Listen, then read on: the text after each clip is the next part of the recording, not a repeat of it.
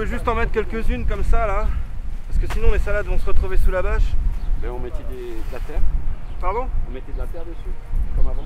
Vous mettez de la terre, mais euh, on entend- on- pour attendre, mettez un peu de, de la graffe au Ouais, milieu. ouais. mieux, ouais. Parce qu'après, elles vont se retrouver dans le nord et puis on. Elles verront pas le jour. Nos salades. Ouais, je vais en mettre un. La fin du printemps, c'est la haute saison pour la plantation. À la ferme Saint-André, dans l'arrière Korersberg, les équipes sont à pied d'œuvre dans les 12 hectares de champs de légumes. Après la cueillette des asperges et de l'ail nouveau la veille, place au repiquage des carottes et des salades aujourd'hui.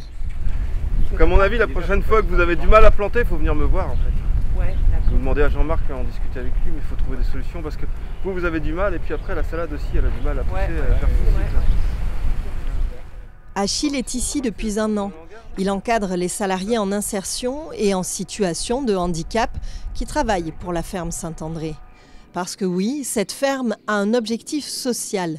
Depuis sa création en 1987 par sœur Béatrice jusqu'à la reprise de l'établissement l'an dernier par la Fédération de charité Caritas Alsace. L'objet de la ferme depuis le début, ça a été d'insérer des gens et un public euh, de jeunes en, di- en difficulté euh, par le support d'un atelier de maraîchage. Et donc là, nous sommes toujours depuis cette reprise de Caritas sur un atelier de maraîchage. Toujours voilà, dans l'idée d'orienter des gens vers des, des formations qualifiantes ou des emplois durables. Frédéric travaille ici depuis un an et demi. Il est arrivé sur recommandation de Pôle emploi après plusieurs années à enchaîner les missions d'intérim. Aujourd'hui, il se plaît à la ferme Saint-André. Déjà, ça m'a apporté une, une- Comment on dit euh, Je me réveille tous les jours euh, aux mêmes heures et tout. Ça me donne un rythme euh, fixe. Et c'est quelque chose. de- en intérim, on ne connaît pas. On travaille une semaine, après, pendant pratiquement un mois, on ne travaille pas. Donc, euh, le rythme, euh, c'est pas possible de le garder comme ça. Ça donne aussi l'habitude de résister, euh, comme dit, aux douleurs et tout ça. Et travailler en équipe, oui, bien sûr, ça c'est très important.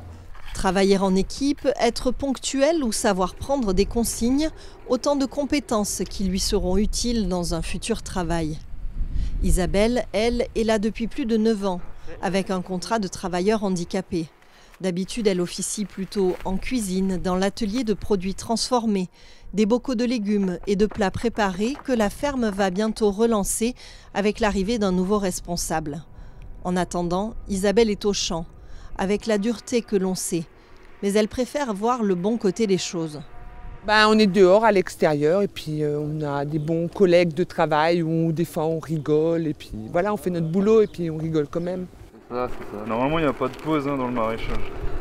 D'autres, comme Hervé, sont là en vue d'une reconversion professionnelle. Tous confirment la bonne ambiance et l'implication de chacun. C'est un, métier assez difficile, enfin, faut aimer ça, quoi. Et, donc, ceux qui viennent de là, moi, moi c'est un peu particulier dans le sens où je viens du milieu, enfin, je connais un petit peu, mais eux, ils connaissaient pas du tout avant. Et ça leur plaît, quoi. La plupart, ça leur plaît. Et, euh, ça, je trouve ça assez étonnant, ouais, quand même. Pourtant, c'est difficile et ça, c'est pas tous les jours facile, mais euh, voilà, ouais, ça leur plaît, quoi. Le fait qu'ils connaissent rien, et puis ils voient les légumes autrement, quoi. euh, quand ils vont au supermarché acheter des légumes, et ils savent tout le travail qu'il y a derrière, quoi. Et ça, c'est pas mal. C'est vraiment une bonne chose. C'est quelque chose de vertueux, ouais. Entrer dans un cercle vertueux, c'est aussi l'objectif de la ferme Saint-André pour le futur. Après des années compliquées, dues notamment à un manque d'irrigation des terres de la ferme, les difficultés techniques sont en passe d'être réglées grâce à un forage. Ne reste plus qu'à retrouver la confiance des consommateurs. La clientèle a baissé petit à petit. Quand je suis arrivé, on s'est retrouvé avec. euh, Enfin, il y avait 450 paniers, ce qu'on a toujours actuellement. Et pour atteindre euh, et stabiliser les, objectifs de la ferme, il faudra qu'on qu'on atteigne euh, un objectif de 600 paniers hebdomadaires. Un renouveau attendu et espéré pour cette belle aventure qui dure depuis plus de 30 ans.